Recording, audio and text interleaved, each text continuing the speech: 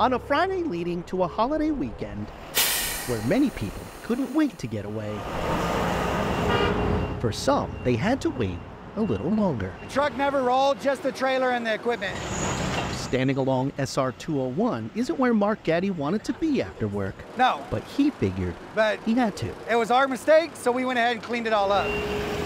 Gaddy works for the company that was involved in an accident right where SR 201 meets I 215 and where traffic was so backed up. One of our drivers was coming down the exit, coming down, and then a car cut in front of him, so he turned real hard. And when he turned, the trailer flipped, spilling heavy equipment, gouging a 20 foot wide cut 6 inches deep in the pavement. But get this the truck belonged to Morgan Pavement, and the company had a load of asphalt mix nearby on another project.